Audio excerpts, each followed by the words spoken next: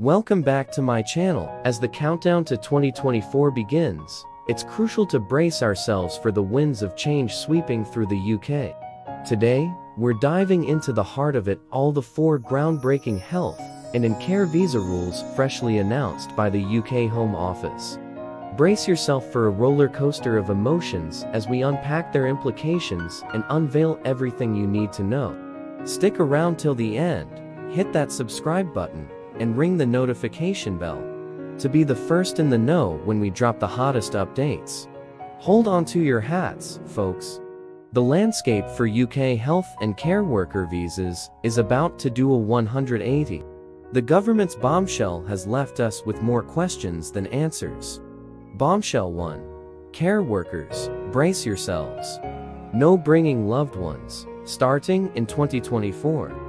Cue the controversy and concerns about personal and professional well-being. It's a move that's got the whole town talking. But wait, there's more. Bombshell 2. Health and Care Visa Sponsorship is now exclusive to Care Quality Commission CQC registered providers in England. Quality boost, but potential limits for job seekers in non-regulated settings. The third bombshell hints at more changes English language requirements of points-based system possibility. Hold on to your hats, we're just getting started. Now, let's talk about the ripple effect on existing health and care workers. Current visa holders, you might think you're safe, but potential staff shortages and increased workload could indirectly hit you. The proposed points-based system? A looming shadow over future renewals. But fear not, NHS nurses and staff, you're the unsung heroes exempt from the chaos. Dependents can still join the UK journey, a silver lining in the storm.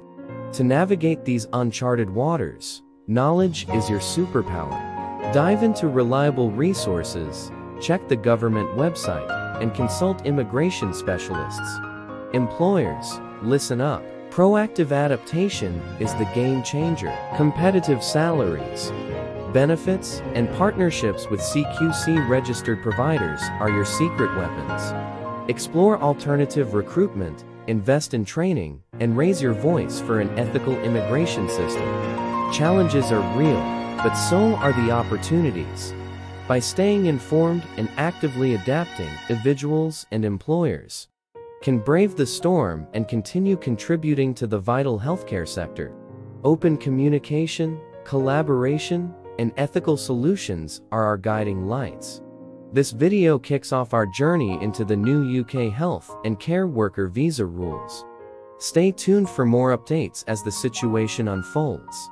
Subscribe, like, and share this video together, we conquer the ever-evolving landscape of UK immigration.